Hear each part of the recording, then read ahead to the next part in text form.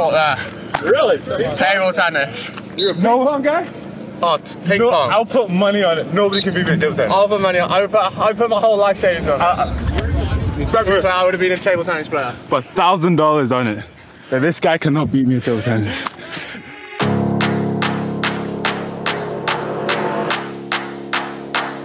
Yeah, we're one week out. It's been a long seven, eight weeks, so yeah, we're all pretty excited for, for next Wednesday. definitely good to be back and reinvigorated, get stuck into training. Sam, have you seen the scores? Where? Yeah, so at the moment um, we do have scouts coming in. So far, we've had the Denver Broncos, we've had the Dallas Cowboys, we've had the Cleveland Browns, and we've had the Jacksonville Jaguars. Pretty surreal. And like this is actually this is it. People want to be on their best performance, giving them that wow factor. A few months ago, some of them have never put on a helmet before, and now we have personnel directly from NFL teams excited to take a look at these guys. I think it's made it feel a lot more real for the players. It's made them feel like we're officially on display right now. So you're looking at the, the athletic traits and how they can translate to the NFL ultimately. Get it right, you know, you can end up with guys like Jordan Mailata and Efe Obada, for example. The consensus so far from the teams, I've had a number of them say this is the best college visit we've ever done. You know, just seeing how big really Byron is as a human compared to other regular looking humans, and you know, and to, to hear his punch on the bag when he's striking the bag. Come on, get there, get there, get there, get there. Huh? Yeah, I had a few interviews this week, which which went really well with a few teams. So, um, you know, I, I'm looking forward to, to next Wednesday and being able to put on a show for for a lot more scouts and, and see what happens from there.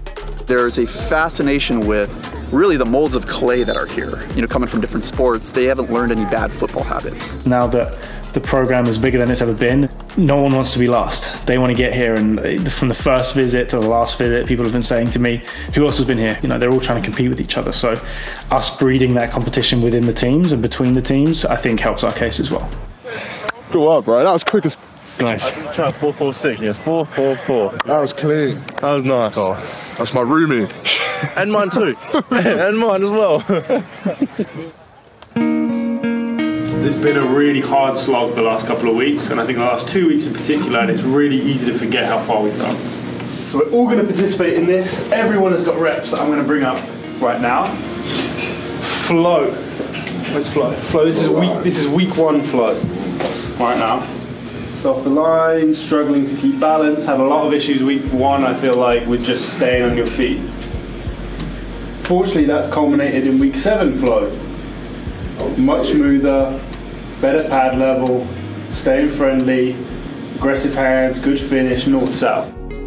Um, yeah, I feel like I feel like I've grown as a person, but also as, as an athlete as well. Just like you can look back at sort of your footage from the first week to where it is now, and, and it's it's quite remarkable to see the progress like everyone's made, and just look back and, and see for yourself sort of how far you've come, rather than focusing on on like what could be. Just like really appreciate yourself and and look at your body changing and the way that your mind changes and how you how you can perform on the field like compared to seven weeks ago so that's something for me which i feel like is really important to sort of appreciate So Praise and Louis are going head to head at the moment at 22.4, and that was from one session last week, and that was uh, from a flying 20. So we haven't really seen them open up fully, you know, go full gas on a, on a 40 yard yet. So we're really excited about that. I'd like to see them compete with the top guys that were running in, in Indianapolis a few weeks ago at the combine. I think they'll speak for themselves on the day.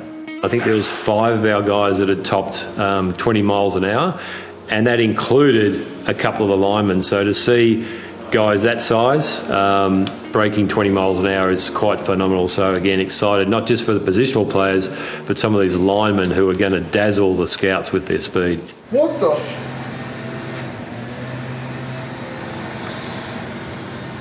Probably get some David Attenborough shit on that. Here we have the wild white animal.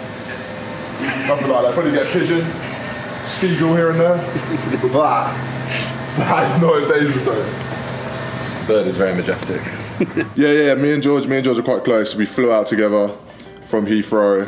Uh, we've been friends throughout the program. Kind of do everything together, really.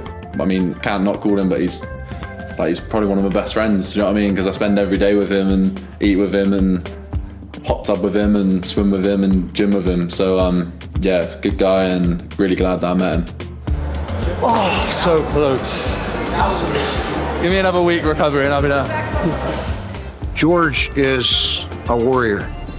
I mean, I'd go to war with that guy in a heartbeat. He is tough as nails. He's gained a significant amount of weight to bulk up to play the position of offensive tackle, and so he's kind of learning how to live in a new body, and he's doing it very well. The team that gets him is, is going to be very, very surprised and fortunate. He has a lot to bring to the table, a lot.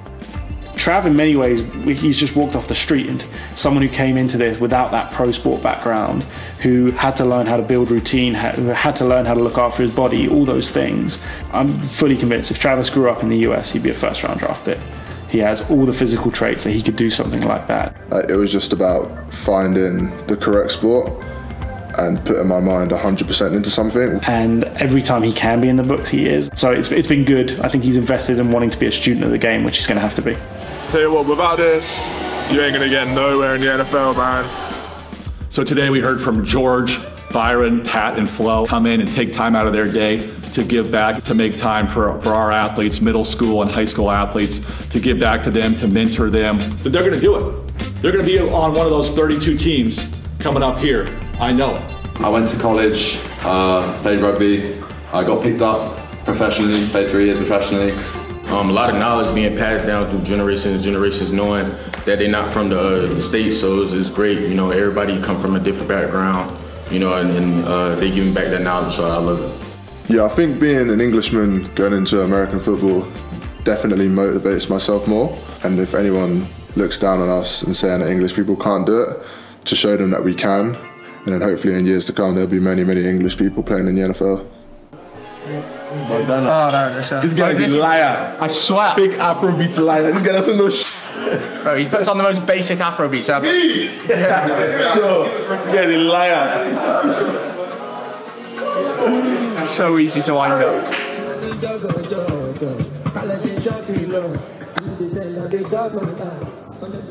Yeah, I think the culture shock for Sam and Isaac um, started with the weather. Florida's not warm enough for them. It's not Nigeria. The biggest one for them, I think, after that was the food. Adjusting to American food, and nothing is spicy enough for Isaac. I, and I try and I try and I try. We go to Walmart, we'll go and get sauces, we'll do whatever we can. Nothing is spicy enough for Isaac. So um, I think I'm just going to have to take a loss on that one. I think what's helped us is having our alumni come back. A lot of them are from Nigeria and they've come back and they've shared their stories and what worked for them and helped them. And It's really nice to see somebody that came through the program I came through through Nigeria. It's really nice. Um, and I can see they're doing great.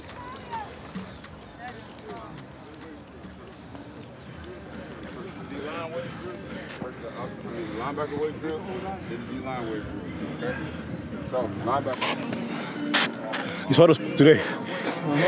You get dehydrated easily. Look at that tan line right here. Look at that. That's what Florida does to you. That's Mr. Incredible. That's Mr. Incredible right there. Young, it's the brownest I've been in my whole life. Yeah, so Pro Day is the 20th of March. They're going to do everything they can to showcase the work they've been doing over the last eight or nine weeks. Um, and then the next day, Thursday the 21st, free agency is open and teams are free to sign our free agents and start to fly them into their buildings, start to meet with them, talk to me, talk to their representation. At this point, everything gets a little bit hotter, it gets a little bit more interesting. Uh, I think we're going to be living in a very different world in 10 days' time from the one we're living in now, but we're all for it and we're ready for it. I don't think you can physically get prepped in 10 weeks to be an NFL player, do you know what I mean? Kids, kids have been doing this since they were like 10. We're here because teams are going to want us because they feel like they can get us ready for the NFL. For a number of weeks, they felt really tired and they've been in the grind of camp and they've been trying to get to the other end of this. And we've just been saying to them, trust us. This program makes you feel things which you never, like, I never felt before. Feeling like you're not, you're not enough, but then again, like, the next day you might have an amazing day training, do you know what I mean? So it's like, it's so up and down like a roller coaster. We were planning this camp so that your bodies would peak on one day, and that one day is the 20th of March 2024. And so, what has become tiredness, what has become soreness as we close out on week eight, is now they're starting to feel a little bit fresher. They're starting to get a little bit more sleep than they were getting, so that we're just holding them back, we're holding them back, and then on Wednesday we let them go, and we let them loose. last chance to like kind of clean some things up. Feeling strong, feeling like Superman. Ja, you gotta wear those uh, rugby shorts on pro day. You look fast in those. Yeah, there's an excitement, there's nerves. It's everything we've been working for. Um, my message to the group this entire time is don't put your head up. Focus on today, today, today, today, today. And for the first time in eight weeks, I'm starting to tell them to look up. And I'm starting to tell them to look at something that's ahead of them um, and getting themselves mentally, emotionally, physically prepared for what's going to be a really big day for the program for them, but also a really enjoyable day. You know, you don't get an opportunity like this very often. Sunday, everyone's getting haircuts. Bullshit filters on high.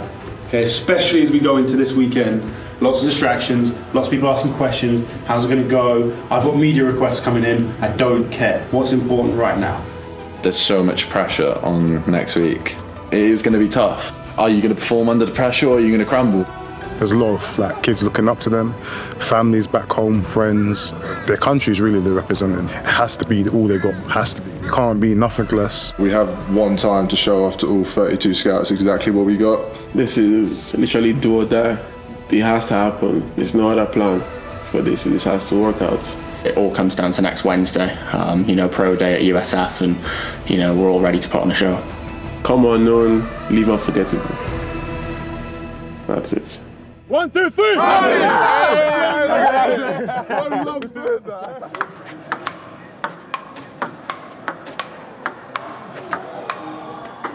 No! 3 1. It's a nervous game. It's a nervous game.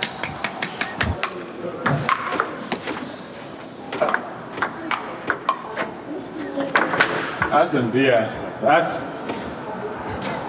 Give me that money, baby! Give me that money! That's some yeah, shake my hand. 21 5.